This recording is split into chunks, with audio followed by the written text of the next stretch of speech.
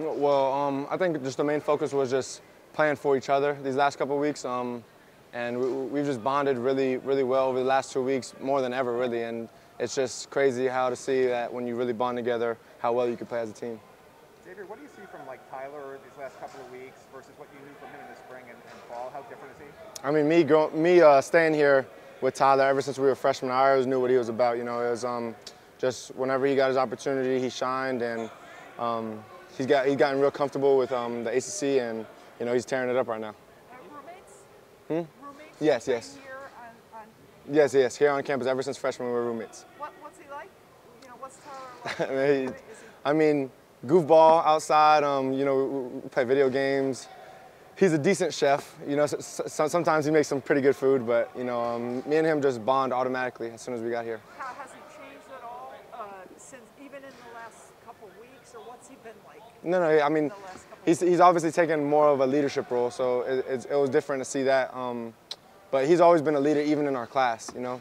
But just to see him take a leadership around the whole team has been a, a little bit of change, he's, and it's good. He's kind of soft-spoken, or, or kind of quiet, not a big talker. Is, is I mean, no, no, no. I mean, he's not really a quiet talker. Like he, he's very vocal outside. Um, he, he's obviously um, like uh, lead by example type of guy for sure. But he, he is outspoken for sure. What was he like during you know those weeks after the Virginia North Carolina games where games didn't start out the way he wanted, but he clearly worked his way out of it? Yeah, no, no. Well, I mean, Tyler's a baller. Either way, Tyler's a baller. So um, he obviously got some getting used to, and once he got used to it, you saw the last two weeks, he's been amazing. You say he's a decent chef? Yeah, yeah, yeah. He, he makes a pretty good chicken parmesan. yeah, it's pretty good. Now, when we used to live together, it's like um, he used to cook like once every week, two times every week. And what about you? You've been cooking up some good players on the field. Yeah, yeah, yes, sir, yes, sir. Like, is stuff starting to click for you even more than, than it was before? Yes, sir, for sure. Um, you know, just the ball coming my way, I just do what I do best and just make the, make the catch. How's it going with you, you and Mike Harley splitting more? You know, how's Mike feel about that? I know he's a he's a senior kind mm-hmm. of thing. You're younger. How do you? No, I mean, I mean, we're both really good players. Um, I'm ready. He's ready. So, um, Coach Lashlee doesn't care. You heard what he said. He doesn't care who's in, who's in. Um, we're just out here trying to win games. Where do you think you've improved the most? I think you were like the best player according to PFF uh, this last game. I'm just trying to do my job. Whatever my coaches um, tell me to do, just do my job and um, just go out there and make plays. But what have you done right? You know what I mean? What's obviously you've gotten better. What do you? What, what, I, I don't understand what you mean by that.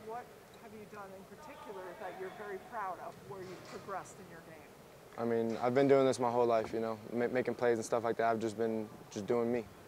You made a bunch of like, you know, diving catches, stuff like that. You had one two weeks ago where you almost made a ridiculous catch. Man, just yes, like, I don't know, could you take me through that play and then obviously? Well, you know, 100% I should have came down with that. You know, touched both hands. Um, yeah, just came in here after the game, worked on 20, 20 catches, put a little pad down, replayed it 20 times. You know, really, really hurt me to, to drop that ball, but um, I, am I'm ready for it to happen if it happens again. Like you were redoing that same yeah, yes, like for sure. Mm, yes, sir. Gotcha.